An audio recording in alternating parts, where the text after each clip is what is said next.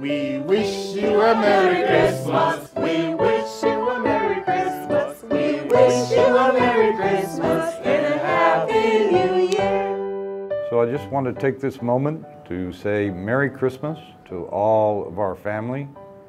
Christmas is a time about families, and we wish you and yours the very best during this season. We are most grateful for the support that we have received within the year.